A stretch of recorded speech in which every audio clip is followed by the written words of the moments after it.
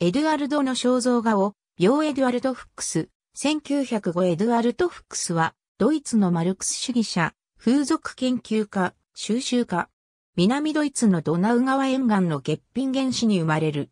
20歳頃から社会主義運動に参加し、1894年には階級闘争という詩集を出版した。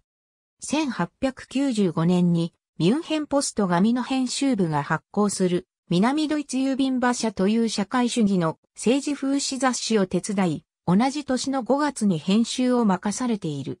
この号はドイツ初のカラーの営利雑誌として発行され、通常2500部の売り上げが6万部に跳ね上がった。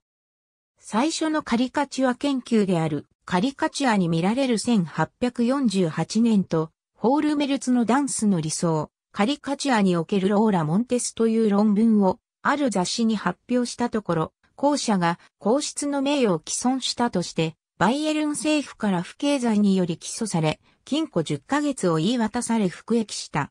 その後ベルリンに出て、本格的にカリカチュアの研究に取り掛かり、眼病に悩まされながら膨大なコレクションを集め、著述を行った。